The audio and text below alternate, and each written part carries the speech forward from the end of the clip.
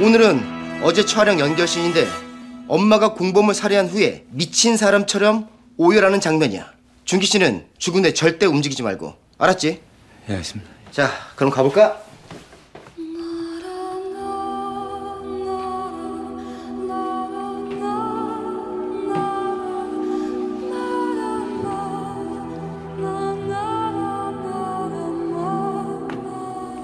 레디 액션!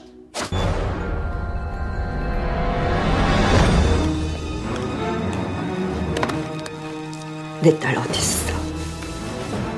내 딸 수진이 어딨어?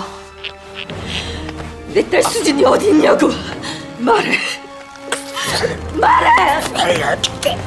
어딨냐고!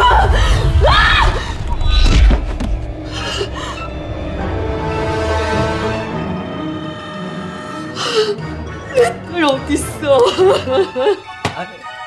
자식아. 어딨어? 말해